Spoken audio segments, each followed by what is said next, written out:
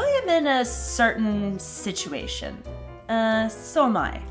I'm in a certain situation in English, and I'm in a certain situation in Czech. Same situation? Yeah, pretty much. But as Czech speakers and English speakers, we say it in different ways. In this video, we'll put some Czech and English idioms to the test. Which ones can you guess? And who do you think has a stranger way of expressing themselves? Czech speakers or English speakers? Before we answer that question, and before we figure out what situation these two are in, I'm going to tell you where I learn all of my Czech idioms, and that's italki. italki is not some automated AI app. It's a marketplace where I go to find real native speaking language teachers whom I can speak to whenever I want. Here are some of my favorite idioms about italki.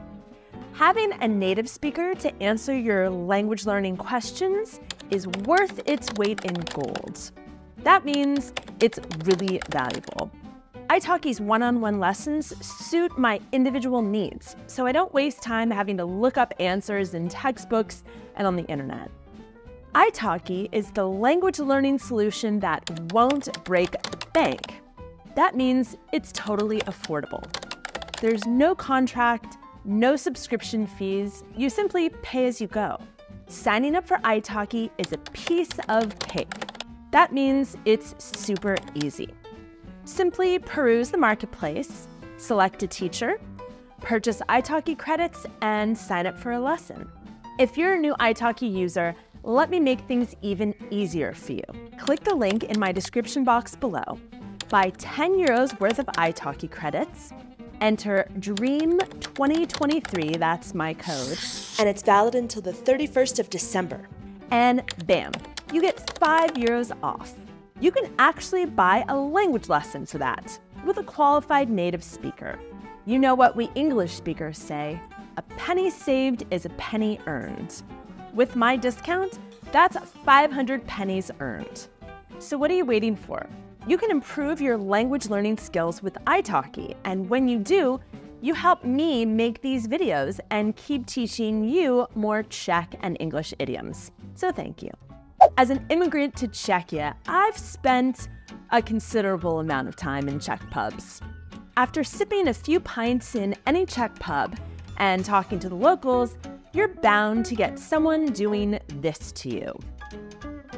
In the US, this can happen to you too, but it looks more like this. Or sometimes this. If someone does one of these things to you, are they A, offering you a ride in their car, B, teasing you by telling you something untrue, C, stealing money from you? If you guessed B, you'd be right. In English, when someone is lying to us, as a joke, we say they're yanking our chain or pulling our leg. The Czechs say tahat za nos, or someone is pulling your nose. This one happened to me the other day. I had to miss my Czech class and my meeting with some Americans later that day.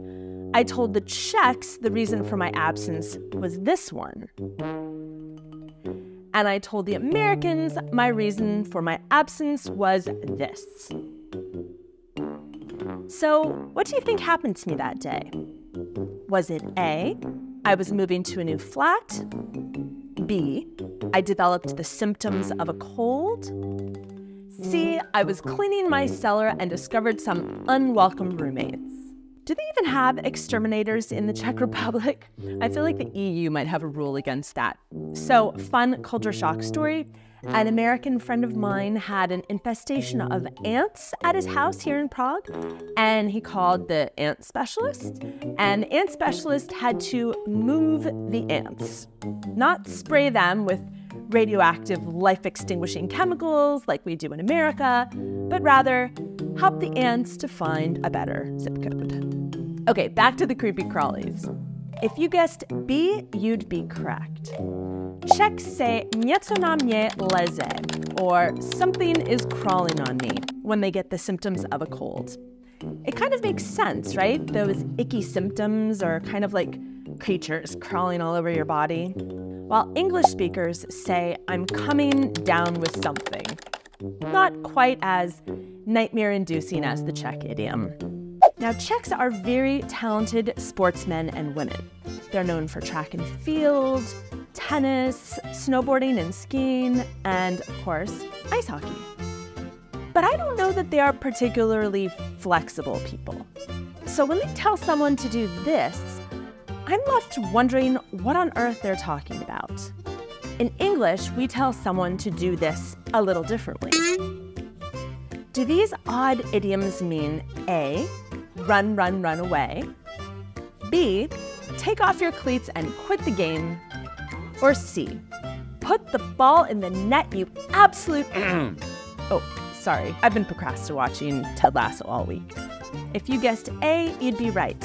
Zit zit Zit nohi na ramina, or take your feet on your shoulders, means to run away as quickly as possible. Though for obvious reasons, I don't know if this is the most efficient way to do that. In English, we'd say hightail it, like a little furry animal with a tail that goes right up in the air before he runs away. Get it? Pshoo! When you first move to Czechia as a foreigner, you can feel a little like this. And Czechs understand this feeling, but to them, it feels more like this. Same feeling, but apparently different locations. Do these idioms mean A, the local food looks good, but I'm hesitant to eat it? B, this city has great vistas. C, I don't understand anything here at all. If you guessed C, you'd be right. When English speakers are confused to the point that we don't understand anything, we say, it's all Greek to me. Interestingly, Greece is not as confusing to the Czechs, but when they are confused, they say that something is a Spanish village. It looks like those Spanish streets are a little hard to navigate, so I get it. Czechs have a reputation for many things. Like I mentioned, they're very sporty. They're known to have a wicked sense of humor, and they're very good with their hands. So when they say this about someone, I'm not sure what to make of it. In English, we have a similar idiom, but we say this about someone. Do these idioms mean A, he's clumsy and useless? B, he drives like an Englishman on the wrong side of the road? Or C, he puts his shoes on the wrong feet? So I've never actually left the house with my shoes on the wrong feet, but I did once go all the way to the center of Prague, down Wenceslas Square, into Old Town Square, past the Christmas markets, past probably thousands of people. And not until I got into the dressing room of a clothing store did I realize that I had two different color sneakers on. So, are these idioms about me? Thankfully, no. But if you guessed A, you'd be right. Ma opie ruce leve, or he has both hands left, means someone is clumsy and useless. In English, we have a similar saying, he's all thumbs, or I'm all thumbs. It means I'm uncoordinated and I'm not good at something. Although I'd say that our thumb is maybe our most useful finger, so maybe having all thumbs would make us super useful? I don't know, maybe not. This one, I just, I don't know what to say about this one. Also, it's kind of hard to portray visually. So here we have a hairy blanket. Clearly, as a long haired woman and a dog owner, I have many hairy blankets.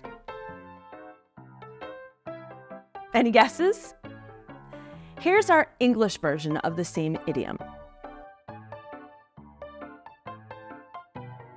Do these idioms mean A, you need to vacuum your home, B, it's taking you a really long time to say what you want to say, or C, you have one too many pets. Did you guess B? Then you're correct. Leze to z tebe jako chlupate deki, or literally, it is crawling from you like a hairy blanket, means that it's taking you a really long time to say what you want to say. The Czech idiom is like, I mean, that can't be real, right? Are you pulling my nose, Czechs? In English, we say a cat's got your tongue which is clearly why you can't speak. If you're Czech and can give us any enlightenment on the origin of this weird Czech idiom, please write it in the comments below. Now, I hope that these Czech and English idioms are as clear as a slap for you. Oh, and I forgot the first one. May you never find yourself in this situation when visiting the Czech Republic.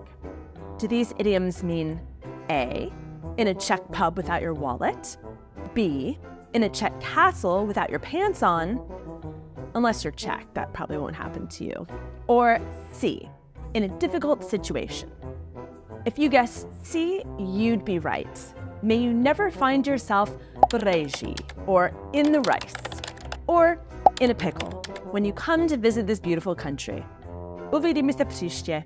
Ahoj!